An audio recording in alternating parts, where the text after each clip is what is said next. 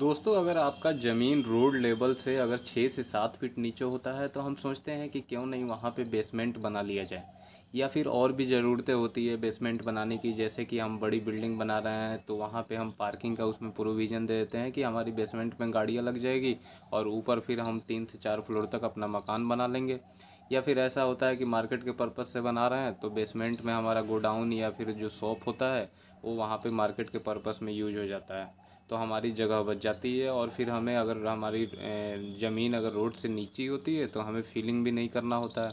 तो इस तरह हमारे कॉस्ट की बहुत सेविंग हो जाती है। तो इस वीडियो में आपको यही बताऊँगा कि अगर आप बेसमेंट बनाना चाहते हैं तो उस बेसमेंट में जो हमें उसका फाउंडेशन देना है यानी जो हमें उसमें मिट्टी खुदाई करनी है, खुदाई के बाद हमें कैसे उसमें पीसीसी डालनी है, फिर हमें उसमें जो सरिया होता है, कॉलम खड़े करने के लिए और फिर उसका जो रिटेनिंग वाल यानी जो आरसीसी वाल हम साइड साइड से देते हैं, वो हमें उसमें सरिया कैसे बांधना है और हमें जो फ्लोर यानी जो हम पूरा राफ्ट फाउंडेशन अपना जो डालते हैं, उसमें जो फ्लोर में हम सरिया बांधते हैं यानी जो जाल देते हैं, वो आपको कैसे बांधना है। यहाँ तीन से चार इम्पोर्टेंट बातें बताऊँगा मैं। आप इस तरीके को अपनाएँगे तो आपका जो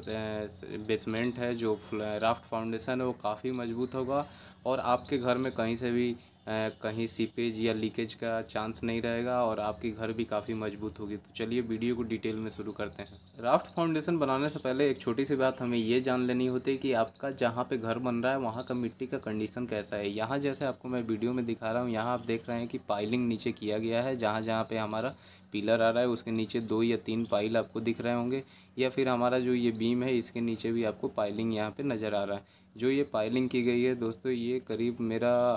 दस फीट का यहाँ पे पाइल किया गया है, तीन मीटर का, और इसमें छः सरिया दस एम और बारह एम का यूज़ किया गया है। वैसे मैं बता दूँ तो अगर आपका मिट्टी का मिट्टी सही है मज़बूत है और वाटर का जो लेयर है वो ऊपर नहीं है तो आप वहाँ पे पाइलिंग नहीं कराएँ और डायरेक्ट आप वहाँ पे जो राफ्ट फाउंडेशन होता है यानी पिलर खड़े करें जाल बांधे और फिर उसकी कास्टिंग कर सकते हैं। तो यहाँ आप देख सकते हैं कि पहले पाइलिंग की यहाँ आप देख रहे हैं जो हमारे फुटिंग के लिए जो गड्ढा खुदा गया है और जो हमारा जिस पे राफ्ट फाउंडेशन हमें पूरे एरिया में डालना है उस पर हम पीसीसी कर रहे हैं। तो जो हमारा पीसीसी होना है दोस्तों तीन से चार इंच मोटा आपको पीसीसी एम टेन या एम फिफ्टीन ग्रेड में, यानी कि एक, दो, चार या फिर आप एक, चार, आठ का मसाला यूज़ कर सकते हैं, उसमें आपको पीसीसी कर लेना है। पीसीसी करने के बाद दोस्तों अब आगे मैं वीडियो में आपको दिखा रहा हूँ कि जो आपको जाल इसमें बांधना है, यानी जो सरिया यूज़ करना है अपने राफ्ट फाउंडेशन बनाने के लिए, वो आपको 12 एम mm का स्टील यूज़ करना है। और दोस्तों बहुत जगह ऐसा देखा जाता है कि लोग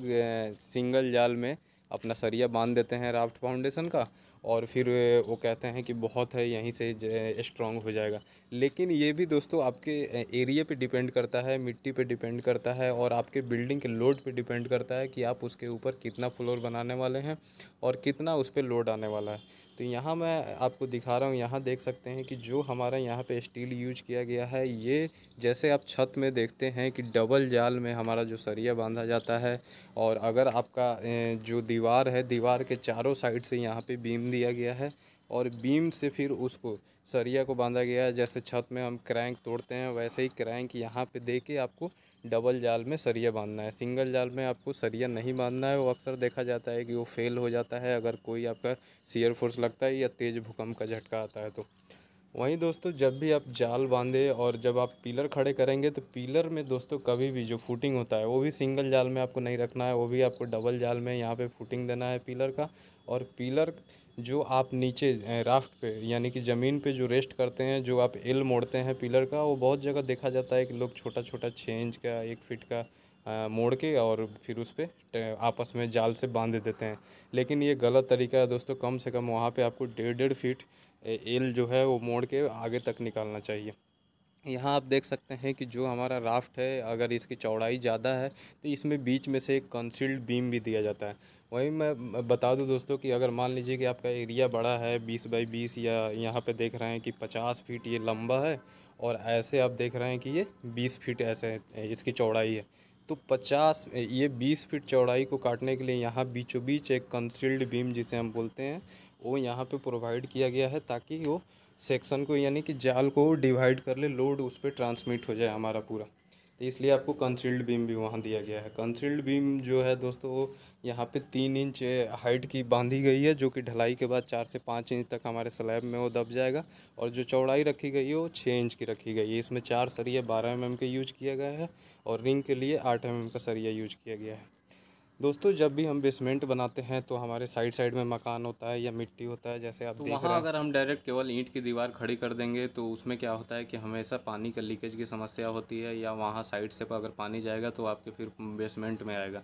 तो वहाँ पानी लगने की समस्या होती है। इसलिए जब भी आप अपना जाल बांधते हैं फर्श पे राफ्ट फाउंडेशन तो उसी में से एल मोड़ के यानी आप देख रहे हैं कि जो सरिया रिटेनिंग वाल के लिए यूज़ किया गया है ये दस एम का सरिया यहाँ पे दिया गया है और नीचे आप देख रहे हैं बीम में एल फंसाया गया है। ये छः से आठ इंच का आपको पूरे यानी कि एल मोड़ा गया है। ये जो आर सी सी वाल बनाना है, ये आपका रोड लेवल जितना भी आपका हाइट है, ये अगर अगर आप मान लीजिए छः फीट ऊपर है आपका रोड लेवल तो आप कोशिश करें कि एक फीट, डेढ़ फीट उससे ऊपर तक बनाया जाए आर सी सी वाल, ताकि कहीं से अगर पानी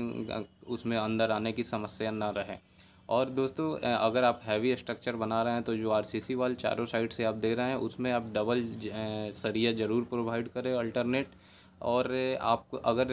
हल्की बिल्डिंग बना रहे हैं और आप, आपके दीवार में सपोर्ट है मतलब दूसरे का मकान है तो आपको सिंगल जाल वहाँ दे के और बाहर से आप चार इंच उसमें कास्टिंग कर सकते हैं और अंदर से चार इंच की आप दीवार उठा के उसका नौ इंच का दीवार बना सकते हैं। तो इससे आपका कॉस्ट का सेविंग भी हो जाता है। तो दोस्तों ये राफ्ट फाउंडेशन में आपको ज़रूर ध्यान देनी है।